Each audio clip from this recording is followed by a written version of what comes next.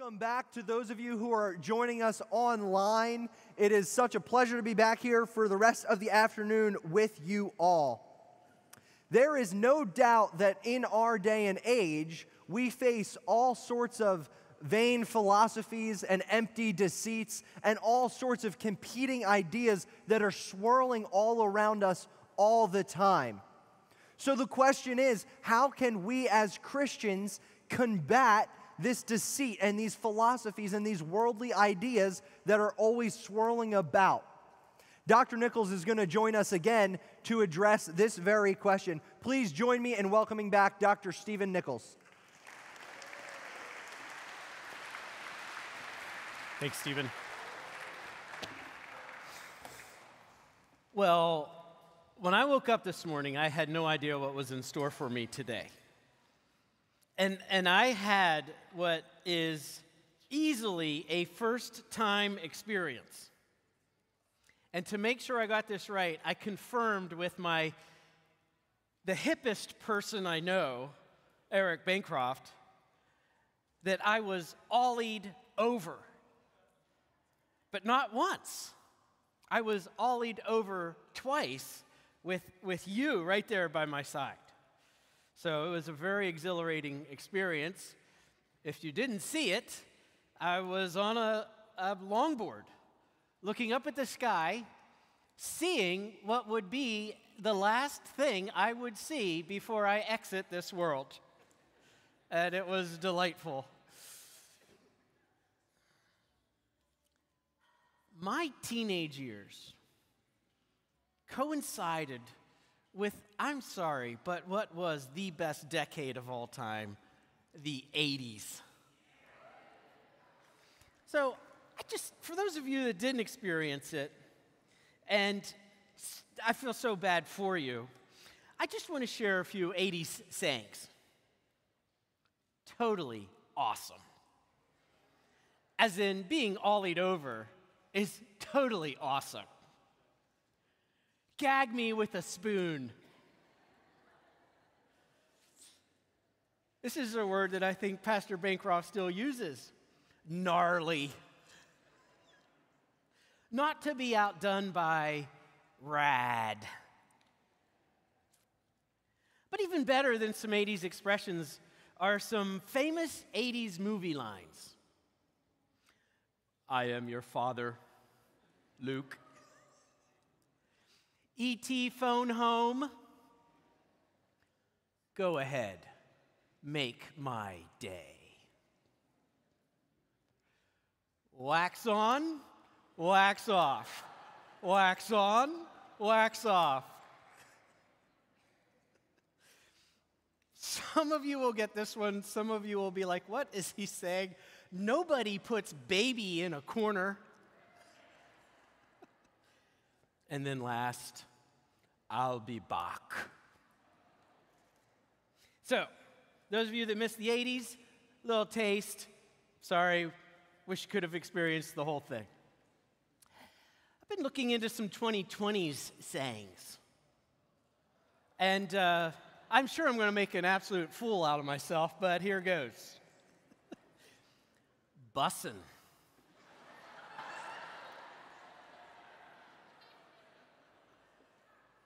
Slay.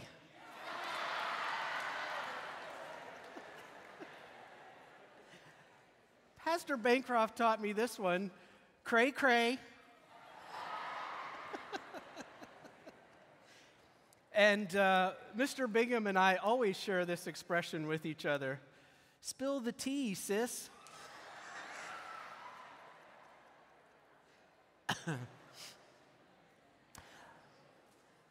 I may or may not have a job come Monday. I don't know. But how about these expressions? We'll go from the uh, humorous to the insidious. Love is love. Or, every time I hear this, it is, it is like the fingernails on the chalkboard your truth. Or here's one you be you. Uh, that's the one I want to think about for a while with you. Uh, but to think about that one, I want to go to Colossians chapter 2, verses 8 to 10. Because behind all of those, love is love, your truth, you be you. Uh, behind all of those is a world view. And, and I'd take a step even further and say, actually, behind those is a program, almost a machine that is pushing upon you uh, a point of view. As you're finding Colossians chapter 2, verses 8, 9, and 10, and as you think about these verses, especially verse 8, think about though it is the first century where we are in the 21st century, we're still facing similar things. Paul says to this church at Colossae, see to it that no one takes you captive First of all, you guys see the, the word choice there. This is serious business. Uh, there's, there's an agenda here. Uh, this is not something that's, that's sort of a luxury to be thinking about. Uh, there's an urgency here. See to it that no one takes you captive by philosophy, uh, by empty deceit, according to human tradition according to the elemental spirits, or another way we could, could translate that would be basic principles. The basic principles or the elemental spirits of the world. Uh, there were all of these in the first century. There were philosophies, there were worldviews, there were human traditions, there were sort of basic principles. Uh, they looked a little bit different from those that are circulating in our day. Uh, uh, significantly, it had to do with, with, with being. And there was a philosophy out there that said, you are an immaterial being only. Uh, the body is, is an illusion. Real existence is beyond the physical. And in fact, all matter is, is bad. Uh, the body is just a tomb, and you need to get to the afterlife to escape it. And there were pure immaterialists. On the other side of the coin, there were pure materialists, that all that exists is matter. To come back to an 80s song, everyone is a material girl living in a material world. And you're either a material, all matter, and there's no afterlife, and there's no world to come, and there's no spirit, there's just this world. You live in it as, as what the philosophy that came out of this as hedonism, the, the wholesale pursuit of pleasure, and that is the key to you being you. Or the immaterial. And that is the key to you being you. And these were the philosophies. And Paul is writing to this church that they are on guard that they don't be taken captive by this. Now, think about this expression, you be you. What does it represent in our moment? It represents radical, individual expression, or sometimes called radical, expressive individualism. Uh, don't be pushed by convention don't be defined by rules and structures. Uh, we'll talk about this in a little minute, uh, in a bit when we get to the panel. Don't even be confined by your biologically assigned gender. You pursue your personal identity. And then be expressive about it loud and proud of the identity that you have found for yourself. This is very much part of the, the culture that surrounds you. How did Apple get so successful at selling us things that cost ridiculous amounts of money and we just constantly want more of them? Because it was the iPod, and then the iPad, and now it's the iPhone. And what I love about my students is as I look out across the classroom and I see their laptops, I know everything I need to know about them. I know what their favorite coffee shop is. I know what their favorite hobby is. I know what their favorite place to visit is. And for people at Reformation Bible College, I know what their favorite reformer is by the silhouette of their beard.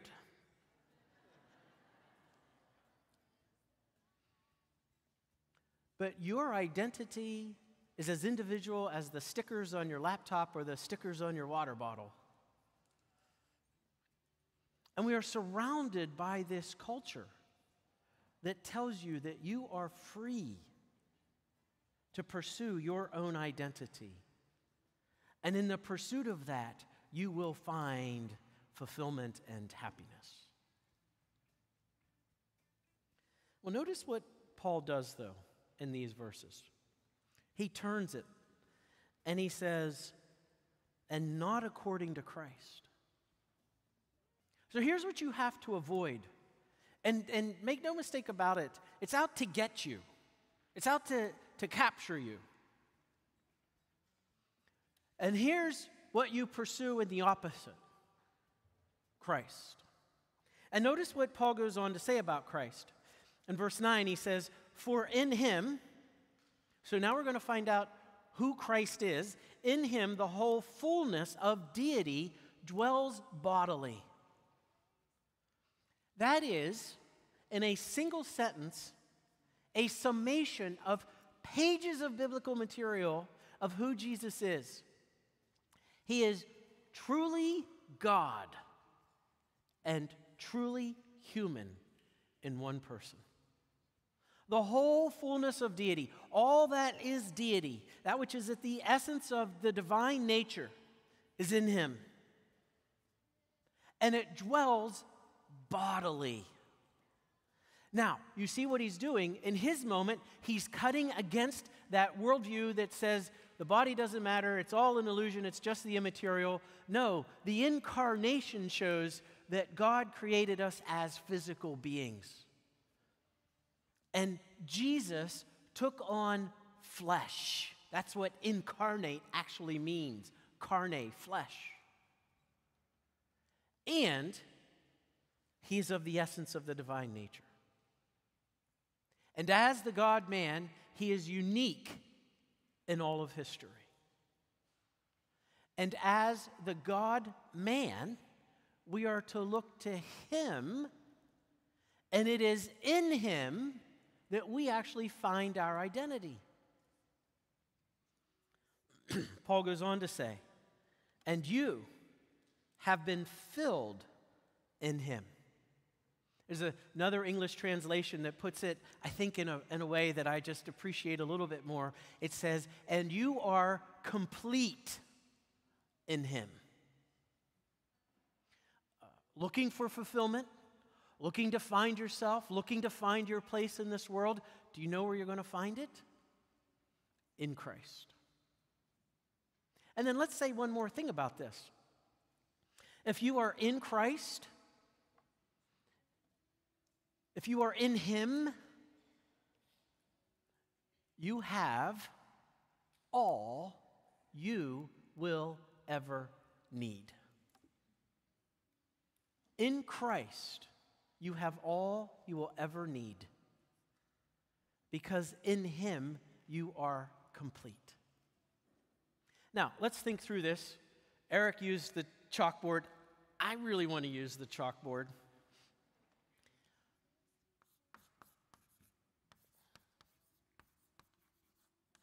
When we are in Adam, because what, what Paul's getting at here is our identity. And when we are in Adam, we are many things, but one of the things is we are incomplete. And so, as incomplete, what do we do?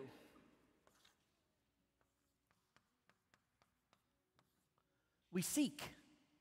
We go to this thing to find fulfillment, and we go to this thing to find fulfillment, and we look to this philosophy, and we look to this worldview, and we look to this form of entertainment because we're not quite right. We're not quite, what God created us to be. Uh, we were in the image of God. We were in fellowship with God. We had fulfillment and contentment in Him. And then that other shoe dropped. And Adam sinned. And when he sinned, he plunged all of us into sin with him. And now, in Adam, that image of God that is in us is fractured. And that fellowship with God is broken and we are not in a right relationship with God. Instead, we are aliens and strangers, and we are not at home in Eden. We're kicked out of the garden. And to impress upon us the point, what does God do? But He puts two angels there, and this is far more exciting than anything in a Tolkien novel. He's got them with swords spinning and lights flashing. There's no way we're going back there and our current state in Adam. And so we go from this thing to this thing to this thing, and we are captive by philosophies and empty deceits, shallow promise, but hollow when you get into it, deceits, human traditions, basic principles of the world. And so, what is Paul putting alongside of this? In Christ. And what are we in Christ? Complete. Because as the God man, Christ, who lived his sinless, perfect life, remember what, what uh, Nathan Bingham said when he was talking about the final telegraph? And you're all thinking, what is, what is a telegraph of Machen or telegram of Machen? So thankful for the active obedience of Christ, no hope without it? See, Christ not only undid what Adam did, which was disobey and plunge us all into sin, Christ not only undid that through what we call his passive obedience, of his enduring the punishment and the penalty for sin, which is ultimately there in the cross, as the cup of God's wrath intended for us is poured out on him. But do you know what else Adam, what Christ does for us? Is he does what Adam did not do. He undoes what Adam did, and he does what Adam did not do by keeping the law and perfect obedience. And so now, in Christ, we are restored in every way, but in that ultimate way of restored in our relationship to God. And here's the word rest, trust, to be at peace. The, the seeker's not at peace. They're wandering. Have you seen, are, are, you, are you as big of a fan of shark documentaries as I am? and what are, they, what are sharks doing? The big ones. They're always doing this because they're restless because they always need food, they always need blood, they always need more. And they're just always restless, always on the move, migrating, trying to find this group of swimmers off of New Smyrna Beach, or trying to find this surfer off of New Smyrna Beach, or trying to find this person on a floaty off New Smyrna Beach. You get the impression. And so they're restless. And they're just going from thing to thing to thing to thing, and not fulfilled. But if we are complete in Christ, do you know what we have in Christ? Is peace. Now, it doesn't mean everything in our life is great. It, it, you were talking about it exactly. It does sometimes after salvation, things get worse from one standpoint. But we can be at peace because the ultimate issue in our lives has now been resolved. The ultimate issue of separation from God has now been resolved. Uh, what we're seeing here in Colossians chapter 2 is a biblical answer to that question Who am I? And the world in which you live wants to say the answer to that is go on your journey, discover yourself, and then be you. And I want to tell you, it's a human tradition, it's an empty deceit, and it's a captivating philosophy. And the good news is there's Christ. And your identity is in Christ. So I'll say it again.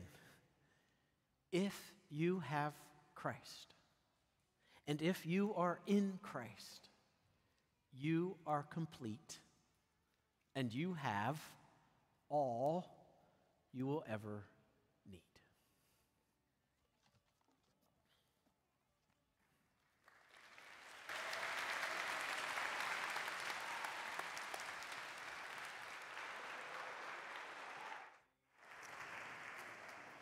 Thank you, Dr. Nichols, for the encouraging reminder of the blessing that it is to be in Christ. Well, there is little doubt that some of the most prominent and relevant issues that we face today are issues pertaining to gender and sexuality. I'm sure at one point or another we have found ourselves interacting with somebody who is struggling or curious about things of this nature.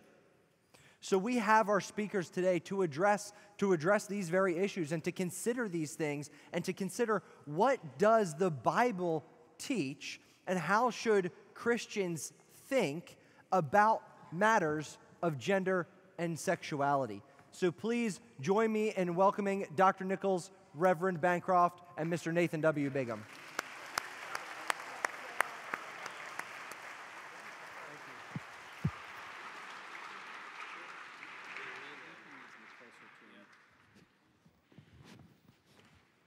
Well, as Stephen said, we're here to talk about gender and sexuality. Why is it that we're discussing that today? What's the, what's the real reason why this is even on a schedule, something that we should be discussing? Yeah, I think the question that gets posed to us as Christians is why do we keep talking about this as if we're somehow reacting negatively or somehow unloving? I, I think it should be clear that Christians are interested in this topic and any other topic, not because we're sort of chasing uh, wherever we are offended or wherever uh, some tradition is being uprooted. It's because we genuinely care about people and genuinely believe God has communicated clearly. And our desire is for people to know not what we think, but what God has said. So, our desire is to help people. I'm, I'm struck by Romans chapter 1 and verse 21, where Paul says here, kind of making a commentary about society.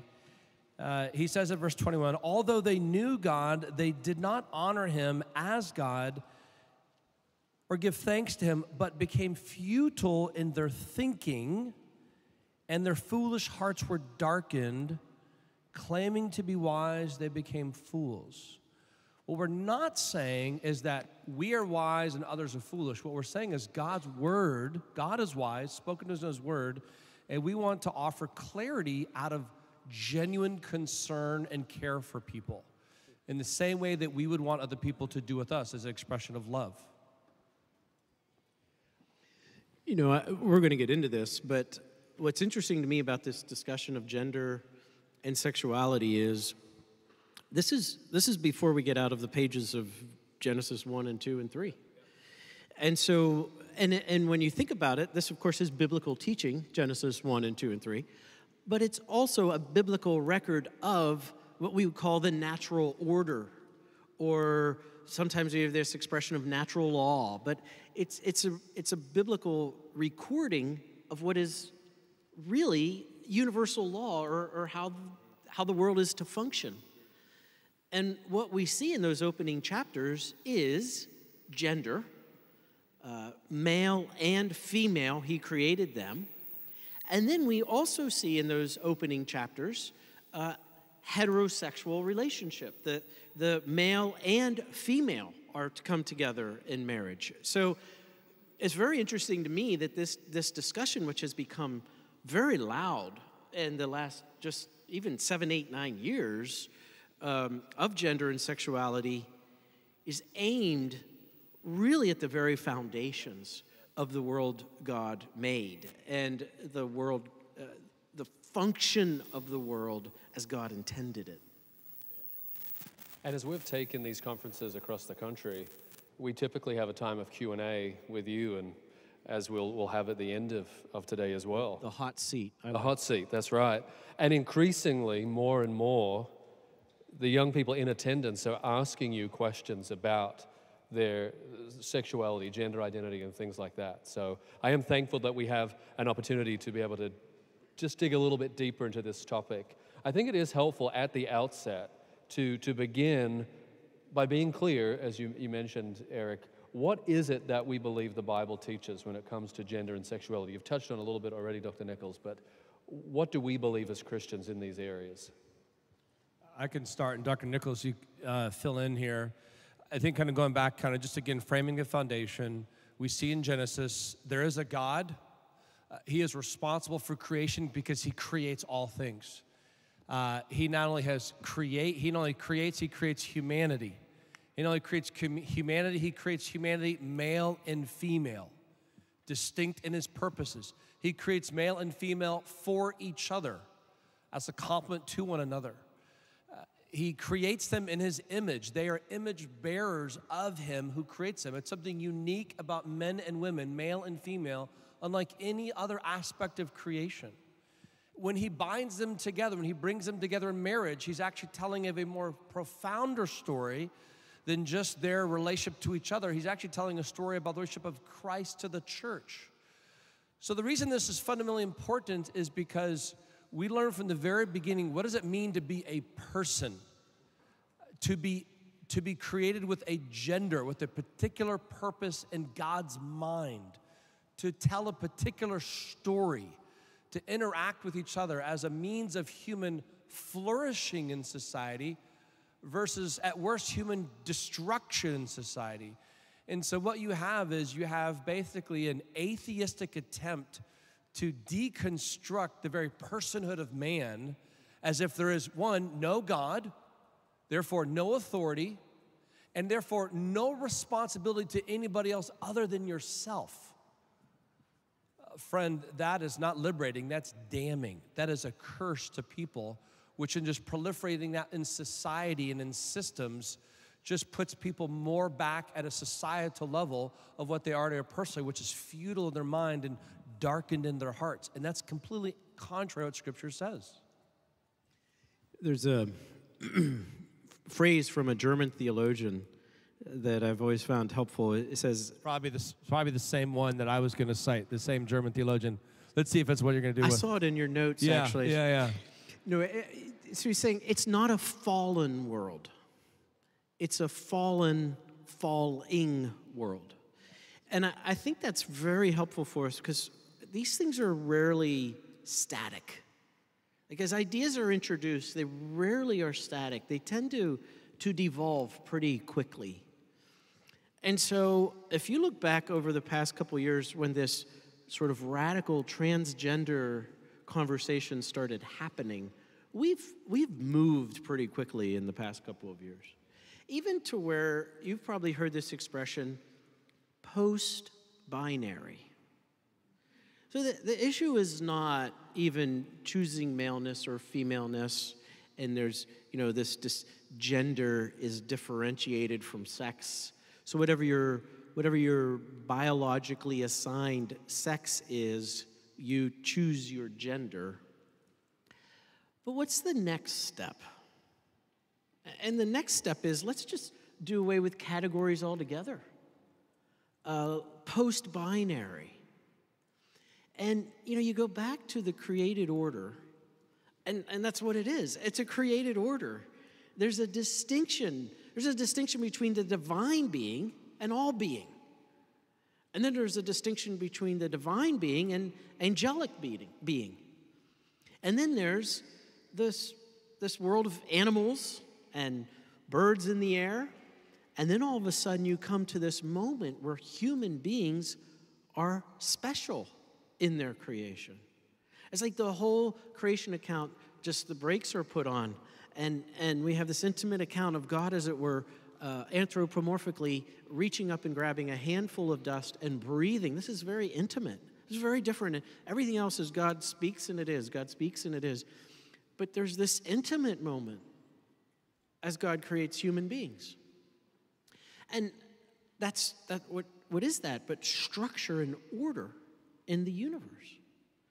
And then within human beings, there's maleness and femaleness. So here's what we're not saying we will deny this. Gender is not a social construct. Uh, you need to hear that. A gender is not something that's just created by societies, it is woven into the very fabric of the natural order of things gender. And it is part of God's order of creation. And so what we see is a push against that. And it's not going to end well. And it's not going to promise fulfillment for someone who pursues that. It's going to ultimately sort of boomerang back with a lot of sorrow and pain.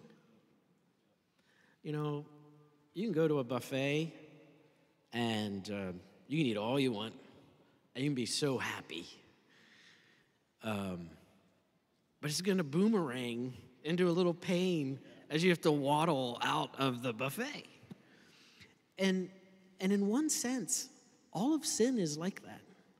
It sort of entices fulfillment and pleasure, but because it is contrary to what God created us for, it really reaps and harvests pain. And so, one of the reasons we're talking about this with you is people are telling you it's okay to do this. And, and gender reassignment surgery at, you know, elementary school ages. Um, it's just a world of hurt is going to come back on that. And so that's why we're talking about these things. And we have to be very clear, I think, this as Christians. This is in the Bible, but this is the natural order of things. And Romans 1, you quoted from, explains what happens when we go against the natural order of things. It devolves into a downward uh, spiral. And the rates of suicide, depression, those that are following uh, the transgender movement and the LGBTQ movement are so high, and it's so sad, but they're promised almost a false gospel. They're told all of the angst and confusion, and you just don't feel comfortable in your own body, all of the challenges and restlessness, as you were referring to in your last session, all of that restlessness will just go away if you just have surgery done to change your body. And they wake up from that surgery, they go through that healing process, and they still have the same restlessness. They're still estranged from their Creator they still have sin and shame, and it did not deliver what was promised to them. And so, for many in that community, the only answer is suicide, which is heartbreaking and, and so sad. Um, what is at risk? What is at risk if we get this wrong? Those that are saying, hey, I know your book says this about gender and sexuality, but what's the big deal? Let people live how they want to live um, we've moved on from your ideals. What really is at risk in the community, in the church, if we get these truths wrong? I mean, I think there's a number of things that we run the risk with. First of all, you're basically talking about a new version, a new um, view of salvation. What is my problem, and what is the solution?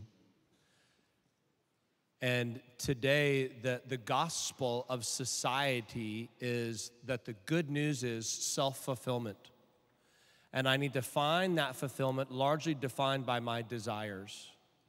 And if I pursue those desires to the fullness of what's afforded me the opportunity, be it gender reassignment surgery or following out the sexual desires of my heart or whatever that might be, I'm recasting a new vision of my identity and what will provide for me security and assurance and hope and peace. And what ends up happening as to what's at risk is what's always at risk an alternative way to try to live in God's world by one, denying His world that He exists, or two, denying His word that He has spoken and the offer that He extends Himself. Jesus in Matthew 11 says, Come to me, all you heavy laden and burdened, and I will give you rest. Jesus acknowledges burdens, He acknowledges heavy laden, the, the difficulties. And you don't have to be that old to already begin to experience that, to feel that. Perhaps some of the homes you've come from, perhaps some of the desires internally you have that you know as I sit here and speak to you, you have, but you've not shared with anybody else here. But Jesus knows that and cares about you in that condition, and He offers you hope. But the problem is when we present an alternative view of salvation in light of an alternative problem, you basically condemn people to their own sins. You leave them to some alternative version of how they can find peace, how they can find redemption, how they can find rescue. But it just enslaves them to more dark deeds. And they just simply trying to facilitate friendships that, that only support their damaging decisions. So it, it really corrupts the person's idea of hope it really distorts what is God's offer of hope when Jesus says, I will give you rest. The problem today is when we try to find our identity in anything other than what you said there in Christ, we will not find rest. And what the world is offering us today, be it gender confusion or otherwise, is we're constantly seeking, be it hormonal, be it medical, be it relational, be it possessive, we're constantly seeking rest in no other place that'll be found than in Christ Himself. I do want to get practical, and I know we don't have a lot of time this afternoon. And so, practically speaking, what counsel would you give to someone? They're watching online, they're here this afternoon, and they would have said and, and say, I'm, I'm a Christian, but in recent weeks, months perhaps, they've begun to think, you know, maybe I am attracted to someone of the, of the same sex. How would you counsel them?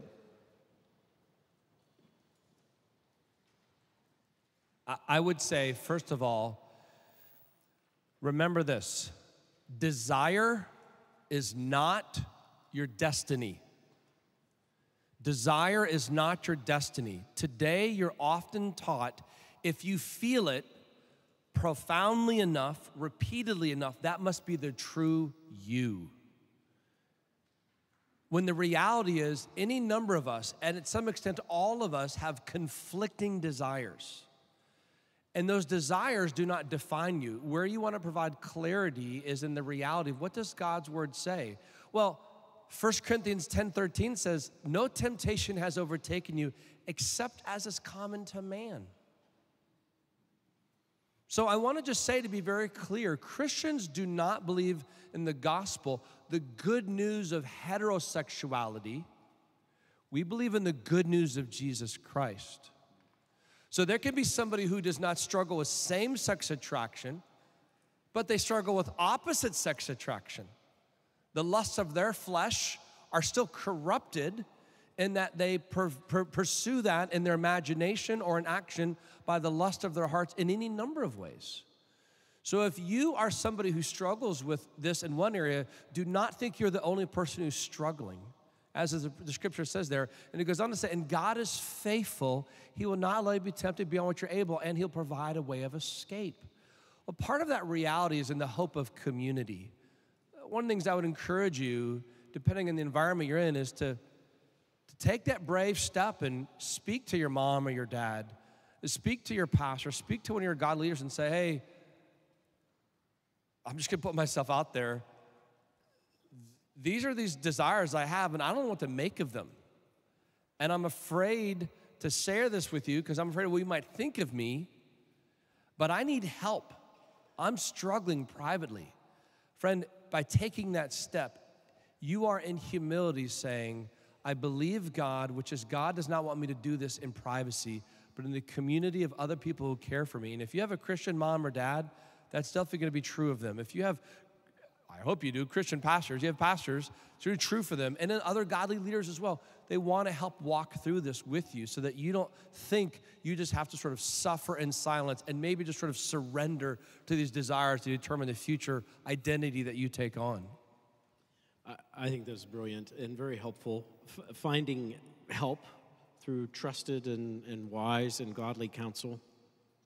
Also, appreciate you're talking about sexual purity, not just in terms of the uh, same sex desires, but a reminder for all of us of this God given gift of sexuality, which uh, there's all sorts of perversions of it that are, are presented to us. Uh, I'd encourage you to, to think a little bit this way. I think there's an overwhelming pressure to think that because this is such an outdated book, and because life in the 21st century has so many components to it that the Bible just never even envisioned, that different rules apply to us today in the 21st century than Christians in the past. So we can be faithful Christians today, but following the lead of culture on some of these things, whether it's more of an acceptance of transgenderism or an acceptance of same sex issues, that is a very mistaken path to go on. Uh, this is no longer uh, irrelevant because we are now in the 21st century, and sociologists tell us more about ourselves that are actually true as human beings than what the Bible says. So we can set this aside because of where we live in the 21st century. I'd encourage you to be very careful not, to, to not give in to that and instead to not sort of go along with some of these cultural sensibilities on this, but to say, I do need to submit to Scripture here. And I do need to look to Scripture here uh, to guide me on, on these issues and on these challenges I face. Just to end on this question, Romans 1 seems to suggest that homosexuality is a more heinous sin because it goes against nature, and we've brought that up already today. Is there hope for forgiveness and freedom from any of these sexual sins? I'm encouraged by what Paul says to the Corinthians in 1 Corinthians 6. He says, Do you not know that the unrighteous will not inherit the kingdom of God? Do not be deceived, neither the sexually immoral, nor idolaters, nor adulterers, nor men who practice homosexuality, nor thieves, nor the greedy, nor drunkards, nor revilers, nor swindlers will inherit the kingdom of God. In verse 11, and such were some of you. But you are washed, you were sanctified, you were justified in the name of the Lord Jesus Christ and by the Spirit of our God. Two things I want to observe there. Number one, God is interested in more than just sexual sins. All sin is an act of holy treason against a holy God. All of it's worthy of his righteous condemnation and wrath, from, from slander to sexuality. Second highlight I want to point out here is that the church biographically is filled with such people, that being their history of what God has saved them from. So if there's anybody here who thinks you don't know what I've done, you don't know what I'm tempted to do, there's no way when you speak of the good news of Jesus saving sinners that he would mean that for me. I would say, oh, welcome to the family. You're amongst the people who can all identify with these. While our sins might differ in detail, all of us find hope in the same Savior. And so I'm just encouraged to be reminded that seemingly our quote unquote forefathers in the faith, the early church, from the very beginning, has a testimony of all kinds of people saved out of all kinds of backgrounds. That does not mean we were saved and promised that we would never sin again just meant we were saved from the consequence of that sin, from the power of that sin, though we still fought against the presence of it, but by the Spirit of God dwelling inside of us, we had the ability by God's grace to say no to it and pursue what our hearts desired which was to walk in holiness. And so we see that in the church here. Amazing grace that saved a wretch like me. Would you join me in thanking Pastor Bancroft and Dr. Nichols?